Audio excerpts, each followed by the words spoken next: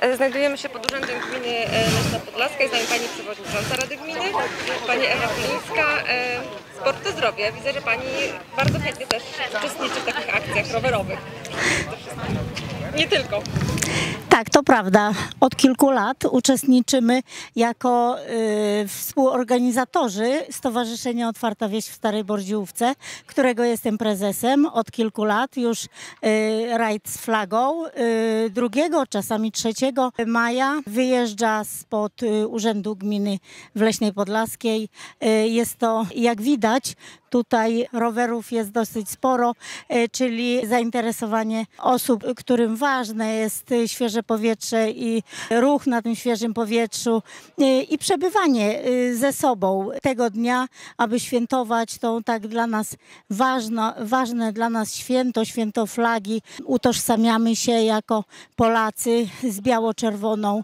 E, Mamy też na uwadze to, że kiedyś walczono o to, żeby tą flagę podnieść do góry i oby ona była chlubą naszego narodu. I my y, podtrzymujemy te tradycje białej flagi i utożsamiamy się też z Polską, z Rzeczpospolitą Polską i przekazujemy to naszym dzieciom, bo podczas y, tutaj naszego rajdu też jest sporo y, dzieci małych, także myślę, że rajd jest dla dużej rzeszy osób od małych do seniorów.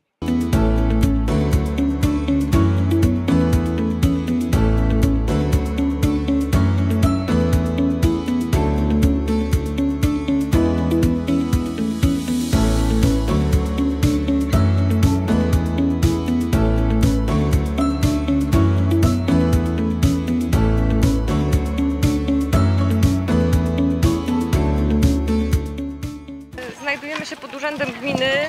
Dużo rowerów, bardzo dużo rowerów. E, Co tu się dzisiaj dzieje? Dzisiaj e, po raz kolejny organizujemy rajd rowerowy, wycieczkę rowerową, taką rodzinną, e, upamiętniającą właśnie te nasze święta narodowe, ważne święta narodowe dla każdego. 3 maja. Jak wygląda trasa? E, Trasa e, była uzależniona od uczestników. Teraz już wiemy, jak będziemy jechać, że to będą ścieżki e, głównie asfaltowe. Spokojna trasa, 26 km do pokonania. Jedziemy, gdzie na nas czeka grill z kiełbaską, żeby się posilić i podążać w swoim kierunku jeszcze dalej. Ilu uczestników? Powiem szczerze, że jeszcze nie wiem. Około, około, około, około 30, 30 osób.